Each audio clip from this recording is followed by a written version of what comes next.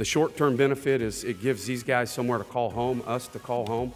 Um, you get that, that mentality of to pr- protect your house. Uh, it's already helped uh, in, in this first recruiting class. We were able to take them through, uh, show them it, and obviously when it's done, uh, the, the future recruiting classes are coming in. So, you know, Anthony Field at Wildcat Stadium has been just a, a blessing uh, for our university, for our community, and for our football program.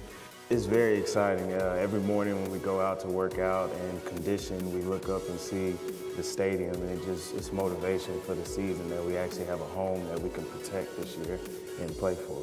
63 tackles away from breaking the all-time record at ACU. Is it something that sits in the back of your mind?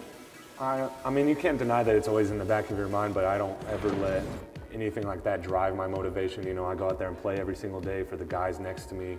Um, you know, I'm gonna go out this season every single game, and my goal is just to win the game and win with my brothers. Like, stats and all of that are never a big factor for me. Uh, you know, you take that with the game. I'm going out there to play, not worry about stats or anything like that.